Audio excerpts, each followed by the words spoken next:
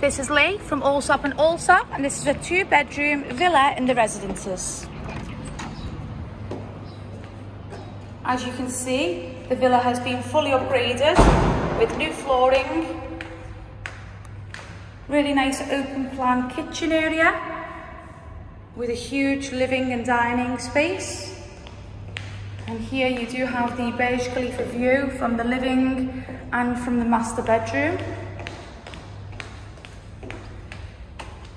Leading into the second bedroom, which is a nice size and also has a walk-in wardrobe.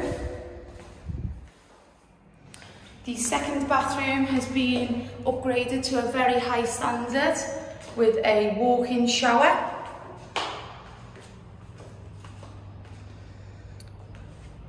Here we have the washing machine area and some extra storage here.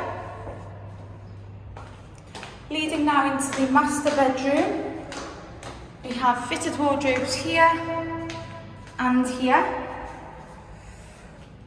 There's a walk-in shower, double sinks and bathtub. And the bedroom size is huge. Again with the Burj Khalifa view.